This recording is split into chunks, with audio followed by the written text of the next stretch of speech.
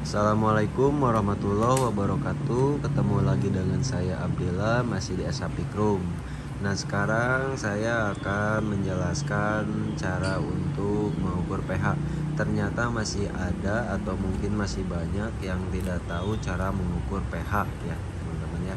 Karena di video sebelumnya Saya kan membuat cairan kupersianid. Saya di sana menjelaskan bahwa koper sianid atau CuCN itu bisa larut di pH basa. Nah, ada yang tanya ke saya, banyak yang tanya lah di WhatsApp juga banyak yang tanya katanya bagaimana cara mengukurnya, terus pakai apa? Ini saya pakai kop uh, kertas pH, kertas pH biasa seperti ini, murah ini teman-teman harganya kisaran 5000 sampai 10000 di toko online banyak lah seperti di Tokopedia yang gitulah Bukalapak, Shopee, Lazada yang itu banyak. Nah ini ya kita buktikan apakah kertas pH yang murahan seperti ini akurat atau bisa mengukur pH kita cek. Nah ini saya udah mencabut satu. Nah sekarang kita cek pH air minum. pH yang layak. Nah saya jelasin dulu ya teman-teman ya.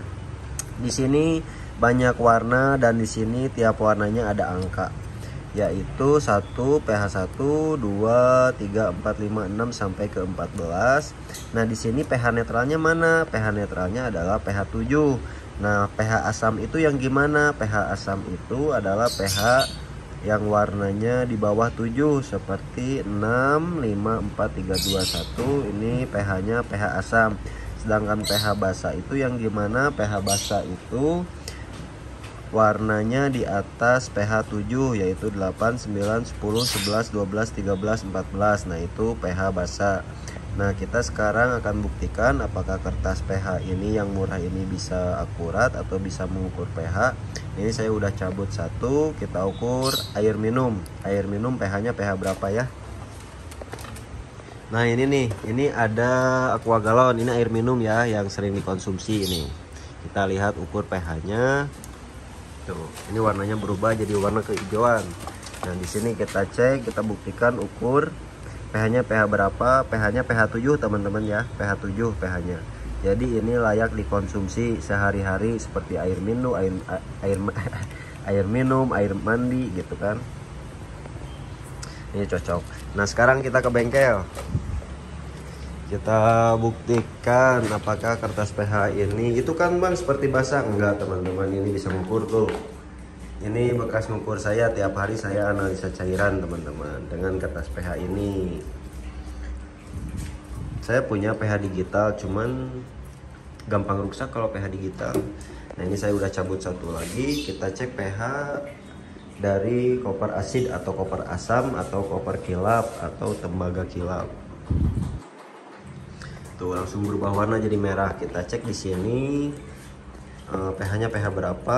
pH-nya pH 1 teman-teman ya. Ini saya menggunakan pH kisaran 0,9 sampai 1,2 di koper kilap gitu. Ini pH-nya pH 1 berubah warnanya ya. Tadi kan pH 7 kalau air minum sekarang pH 1 karena dia termasuk golongan asam kalau koper asid atau koper kilap. Nah ini sekarang kita cek langsung ke koper sianid atau koper basa atau koper dop atau koper dasar tembaga dasar. Tuh ketika warnanya langsung berubah. Sini kita ukur pH nya pH berapa nih koper sianid pH nya pH 12 teman-teman ya pH 11 sampai 12 itu karena pasti terga, uh, apa terkandung kaustik ya kemarin sama NaCN makanya pH-nya pH basa. Nah, sekarang kita ukur cairan nikel pH-nya pH berapa nih? pH nikel kita celupin. Nah, udah warnanya udah agak kemerahan. Kita cek di sini warnanya warna apa? Warnanya 4 4 ke 5 ya teman-teman ya. Karena saya di sini di cairan nikel memakai pH 4,3 sampai pH 5 maksimal. Gitu teman-teman. Nah ternyata udah kebukti ya bahwa kertas pH yang murah ini bisa dipakai teman-teman. Nah begitu juga dengan limbah ya. Dengan limbah electroplating banyak yang nanya juga nih. Nah sebelum kita membuang limbah electroplating kita harus diolah dulu lah sembarangan. Karena kan gini saya itu nyiapkan bak bilas sebanyak ini biar bisa kita limbahnya kita tambung di bak bilas ini seperti ini. Nah, nah kan sewaktu-waktu ini bak bilas ini pasti dibuang atau pasti diganti ya teman-teman ya. Itu saya diolah dulu sebelum dibuang. Jangan langsung dibuang. Nah seperti ini. Jangan langsung dibuang. Kita cek pH nya dulu. Kita cek TDS nya dulu. Nah TDS itu kandungan logam dalam air ini teman-teman ya. Ini kan logam semua. Nah ini kan kandungan logam semua ini.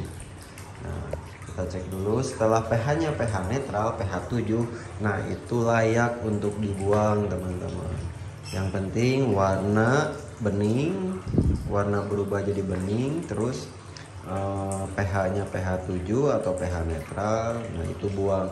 Nah nanti endapan dari dari hasil pengolahan limbah itu kita bisa bakar teman-teman. Kita bisa bakar. Jangan dibuang sembarangan juga nanti endapannya. Kita bisa bakar.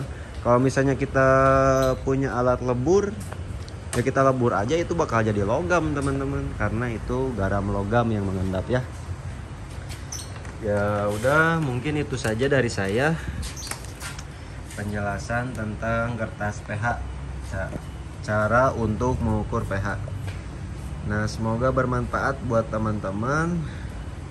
Assalamualaikum warahmatullahi wabarakatuh.